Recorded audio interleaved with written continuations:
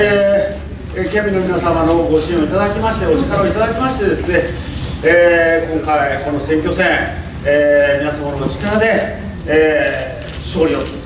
そしてまた当選を果たすことができました。心から熱々く御礼を申し上げたいというふうに思います、えー、ただただ率直にありがたく嬉しい気持ちでいっぱいであります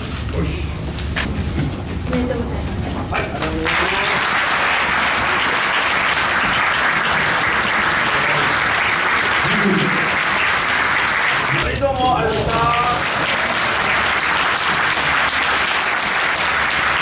えー、さんおよび河村氏との関係ということでありますが、もうこれはあの皆さんも取材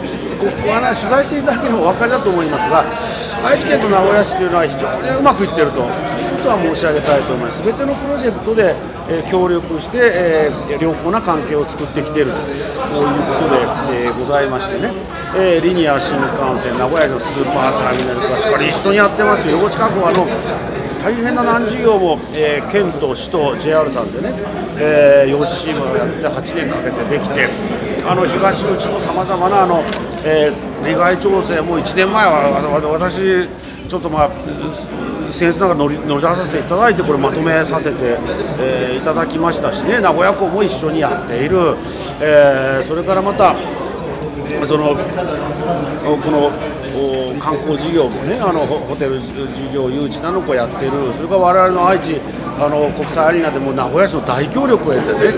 えー、あの名城公園をねえー、畑の規模4万6000平米を、ね、あの使わせていただきまた地下鉄の出入り口の整備もやっていただいてる。そのステーション A だってあのあそこ容積の緩和だってややってもらってますしね。今度あの防災拠点があって県と市の消防学校合体して共同設置って日本でうちだけですからね。なのでそういった意味では引き続きですよ、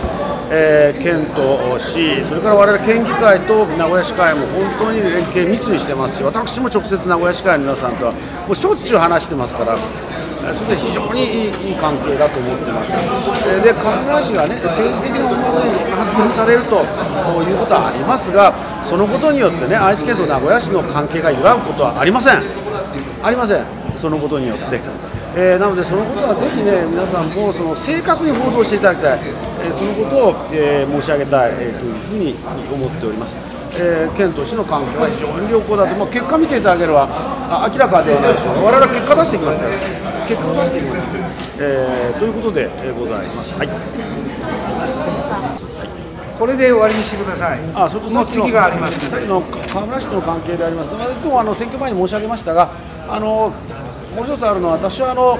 あの好き嫌いで仕事はやりませんから、あの県市が一体となってやっていくということについてね。えー、揺らぐことはない、えー、ということを申し上げております。でもう常にあの、えーもうあの門戸は開いておりますからいかようにでもお話をいただければよろしいんじゃないかというふうに思います。まあ、あのあの司会の皆さんとあの、えー、名古屋市無職の皆さんとは常に常にあの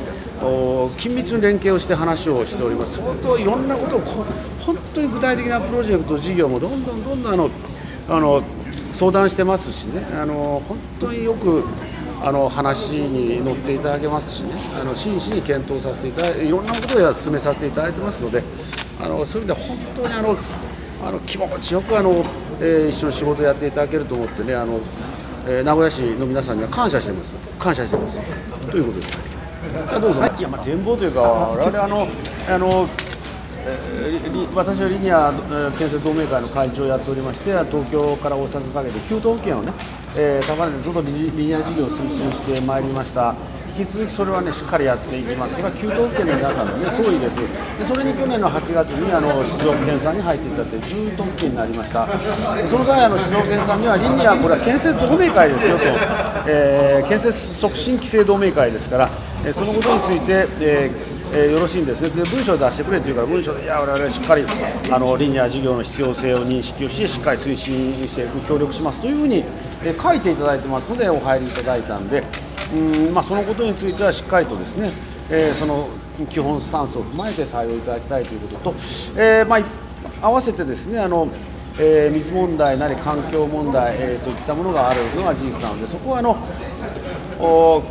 国が設けた第三者委員会の学者さん専門家日本でねこれだあの水資源の問題なり環境問題についてあのあまあ本当にあの専門家の皆さんが、えデータに基づいて、科学的なデータに基づいて、科学的な論拠に基づいて、えまあ、あの検証してね、えその対応策を考えていただくいただいているわけですから、えー我々はやはりあの事実とエビデンス、う科学的論拠に基づいて、えー仕事やっていかないといけませんので、そのことはあの、えー関係の皆さん、もちろん静岡県さんにも強く、えーそのことは申し上げですよ、えー静岡県庁もちろんですが、静岡県の経済界、産業界、それからまたあの静岡県民の皆様にもしっかりそのことはね、働きかけをしていきたいというふうに思っております。やはりあの人口減少問題、もしくは人口対策、えー問題に対する、まあ、部署を、えー県庁でも作りましてね、えーそしてあの、えー当然これはあの人口というのは住住民住民基本台帳というのはこの市町村の皆さん作っておられますから、えーそれでいろんな住民サービスを市町村の皆さんがやってますので、あの市町村の皆さんと人口対策、人口問題を考えている、そういった、協議会を立ち上げて、えー具体的に、ね、あの議論を進めていきたいと思います。あのすでにあの東三河には東三河県庁、特に東三河協議会を作っておりまして、えー人口問題を含めてね、あのさまざま施策やっておりますが、えーあの今回は愛知県全域を対象にしながら、えー人口対策ね、えー考える協議会を作り、もうやれることからどんどん手を打っていく、それから定住人口も交流人口も含めて、えやっていく。で